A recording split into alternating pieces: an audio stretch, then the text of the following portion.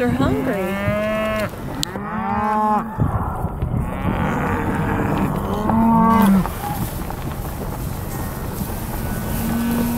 I'm sorry, guys. We don't have.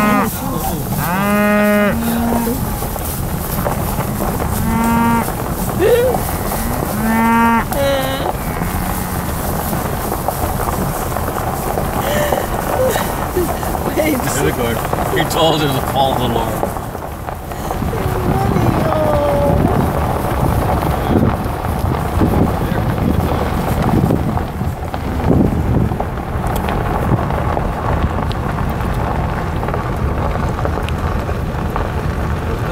Dinner for